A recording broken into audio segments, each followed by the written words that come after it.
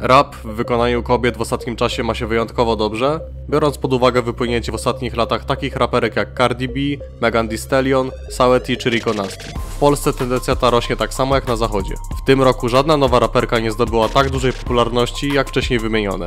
Jednak bardzo możliwe, że sytuacja właśnie ulegnie zmianie, bo od niedawna coraz szerzej zaznacza swoją obecność świeża krew z Memphis, Glorilla.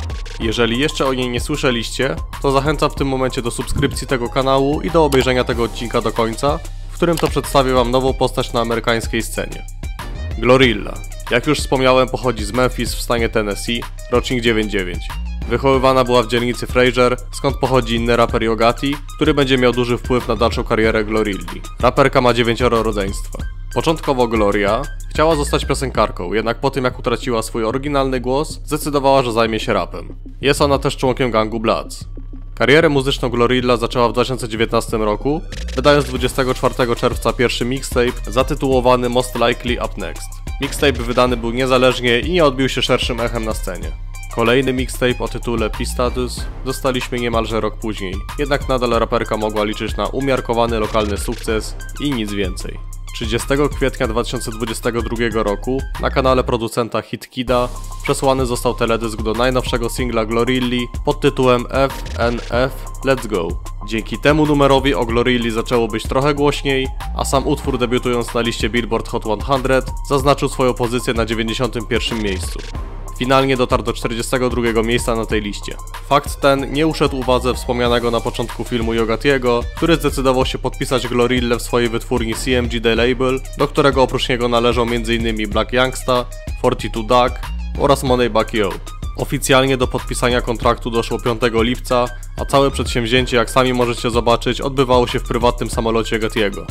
W takich słowach Glorilla skomentowała dostanie się do labelu CMG. Lata zajęło mi dostanie się do miejsca, w którym jestem. Jestem błogosławiona, że zostałam podpisana do najgorętszego labelu w przemyśle muzycznym. Zamanifestowałam ten moment i zaufałam mojemu talentowi, nawet gdy inni nie wierzyli.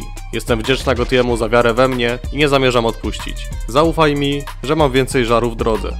O, może CMG obiektywnie nie jest największym labelem w muzyce, ale na pewno kwota kontraktu opływająca na 600 tysięcy dolarów robi wrażenie. 15 lipca Glorilla miała swój pierwszy mainstreamowy sprawdzian, który zdała na piątkę z plusem. Tego dnia ukazała się składanka całego labelu Gotiego pod tytułem Gangsta Art, gdzie Glorilla występuje tylko w jednym utworze, jednak w całości jest to jej utwór. Mowa tu oczywiście o Tomorrow, którego teledysk opublikowany został w dzień premiery albumu, a do tego momentu singiel osiągnął prawie 13 milionów odtworzeń na samym YouTubie. 23 sierpnia na kanale raperki udostępniony został remix do Tomorrow z gościnnym udziałem Cardi B. Remix poradził sobie jeszcze lepiej od oryginału i do tego momentu na samym YouTubie przesłuchany został prawie 50 milionów razy. Sam remix dotarł do 9 miejsca na liście Billboard Hot 100, co jest świetnym wynikiem jak na debiutantkę. Finalnie utwór został odznaczony złotą płytą za sprzedaż w ilości powyżej 500 tysiąca sztuk. W związku z ciepłym przyjęciem singla Glorilla i CMG The Label nie mogli długo czekać. Trzeba było było kuć żelazo póki gorące i tym sposobem już 11 listopada otrzymaliśmy epkę zatytułowaną Anyways Life is Great. Na epce znajdziemy zarówno pierwszy hit FNF, remix do utworu Tomorrow oraz kolejny singiel, czyli Blessed, który na tą chwilę obejrzany został około 20 milionów razy na YouTubie. Czy pod względem komercyjnym cały projekt wypalił? Jak najbardziej, bo mini album dotarł do 11 miejsca na liście Billboard 200.